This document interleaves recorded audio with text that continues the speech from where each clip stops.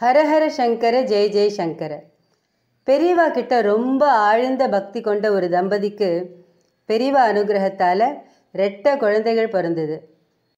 பெரியவா தான் அந்த குழந்தைகளுக்கு பேர் வைக்கணும்னு அவளுக்கு ரொம்ப ஆசை இருந்தது. அவள் ஆந்திராவில் எங்கேயோ வடகோடியில் இருந்தா. அந்த சின்ன பிஞ்சு குழந்தைகளை காஞ்சிபுரம் தூக்கிட்டு வந்து இதோ பெரியவாளோட திருவடியில் போட்டுட்டா. அவளோட சம்பாத்தியம் ரொம்ப குறைச்சல். ஆனால் பெரியவா கிட்ட இருந்த நம்பிக்கை பக்தி பிரேமை அளவுக்கு அதிகம். பக்தியில் அவள் ரொம்ப பெரிய பணக்காரா. பெரியவா கிட்ட பேர் வைக்க சொல்லி எப்படி கேட்குறதுன்னு தெரியாமல் ரெண்டு பேரும் தவிச்சா. பெரியவாளோட பாதங்களில் குஞ்சு கைகளையும் கால்களையும் இப்படியும் அப்படியுமா ஆட்டின்னு இருந்த ரெண்டு குழந்தைகளையும் பெரியவா பார்த்தார். என்ன பேர்? அப்படின்னார். நேரடியாக சப்ஜெக்ட்டுக்கு வந்துட்டார். இன்னும் பேர் வைக்கல பெரியவா. நீங்கள் தான் எங்களுக்கு எல்லாமே. பெரியவா தான் எங்களோட குரு. அதனால் பெரியவாளே பேர் வைக்கணும்னு ரொம்ப நம்பிக்கையோட ஆசையோடு வந்திருக்கோம். அந்த பழக்கம் எல்லாம் நின்று போய் ரொம்ப நாளாக இருதே அப்படின்னு சொல்லிகிட்டே சிரிச்சார்.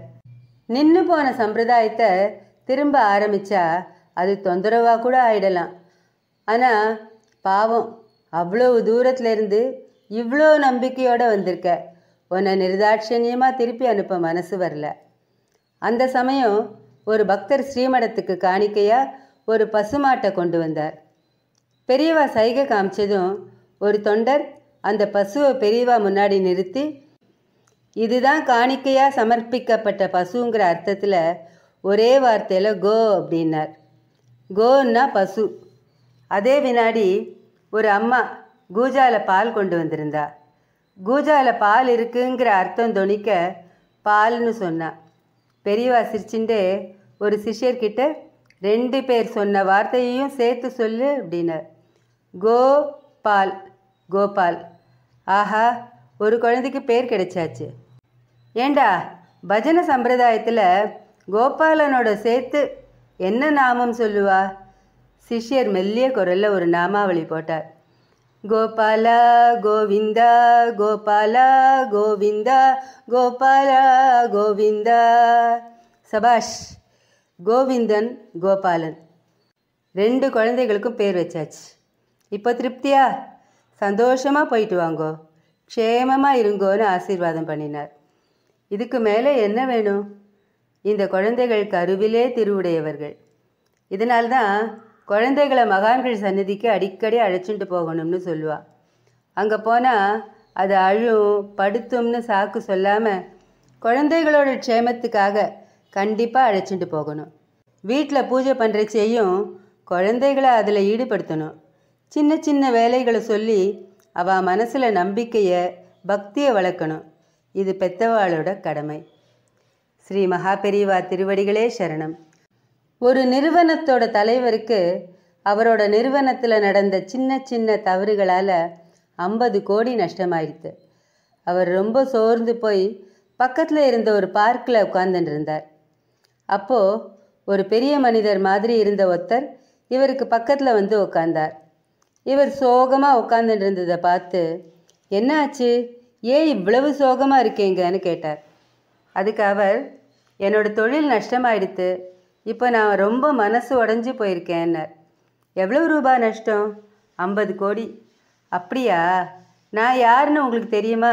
அப்படின்னு கேட்டுட்டு அந்த ஊரோட பிரபல்ல செல்வந்தரோட பேரை சொன்னார்.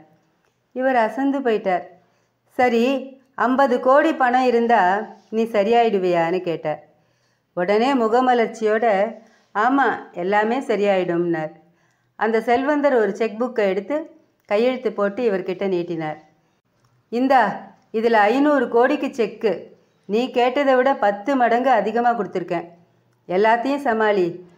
ஆனால் ஒரு வருஷம் கழித்து இந்த பணத்தை நீ எனக்கு திருப்பி கொடுத்துடணும். அடுத்த வருஷம் இதே நாளில் இங்கே நான் உனக்காக காத்துட்டுருப்பேன் அப்படின்னு சொல்லிட்டு செக்கை இவர் கைகளில் திணிச்சுட்டு போயிட்டார்.